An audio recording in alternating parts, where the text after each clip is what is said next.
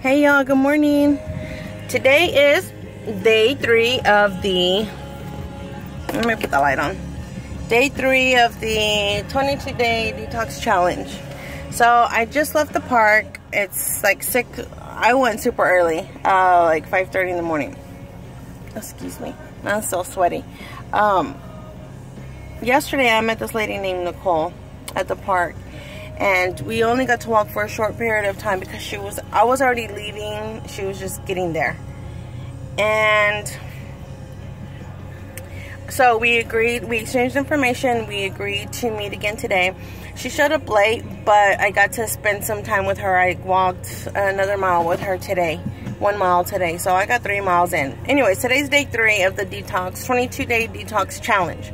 I told her about the challenge I asked her if she would be willing to do it with me and she said yes.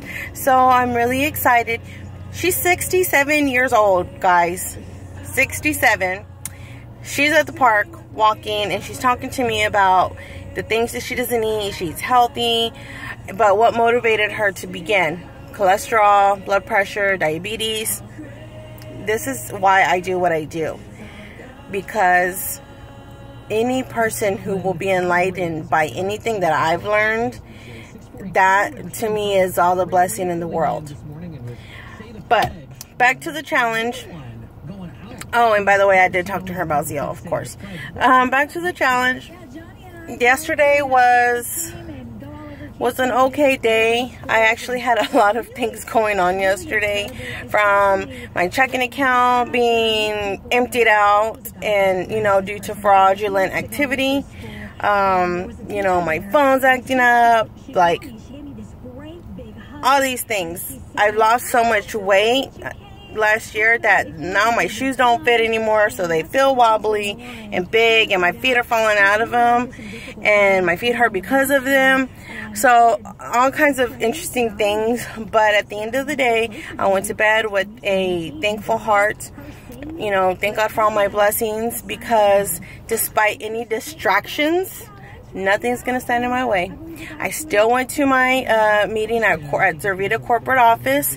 My uh, a beautiful friend, best friend that I have in my life, who you know we don't get we we're not close anymore. You know, due to family life, whatever. But she joined me last night for the meeting. I met more new beautiful people. I heard wonderful testimonies of life and experiences, and I was just uplifted and encouraged despite all the drama that happened to me yesterday. So I guess with that in mind, that being day two, it was a struggle with distractions, but I kept focused, I kept determined, and I'm happy that now we're on day three. So I hope y'all are having a great day. I hope by today you're you're feeling better because I know yesterday I was already noticing a difference. Granted, I am taking you know the burn and the cleanse. Oh, I forgot to take the cleanse last night. I'm gonna have to take it right now. Anyways, um, God bless you guys. Have a beautiful day. And just remember, pray to God. You can pray to God and ask Him to help you to lose weight. I promise you. You can ask Him anything. You can pray for anything.